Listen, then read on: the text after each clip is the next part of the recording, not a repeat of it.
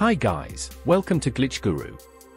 In this video, we'll show you how to easily scan QR code saved in your phone's gallery or a web page on any Samsung Galaxy phone. Before we get started, make sure you subscribe to the channel to show your support. Now, if you want to scan a QR code that's on a web page or in an app, just go ahead and capture its screenshot. Once the code is saved on your phone, swipe down from the top to access the Quick Settings panel. Here, locate the Scan QR code toggle. If you can't find it, just tap this pencil icon at the top. Now, tap this Edit button. Then, drag and drop the Scan QR code tile from the bottom and hit Done. Once you have this Scan QR code tile, just tap on it. As you can see, it gives you the option to scan the QR code, but since we already have it on our phone, tap this gallery icon at the bottom.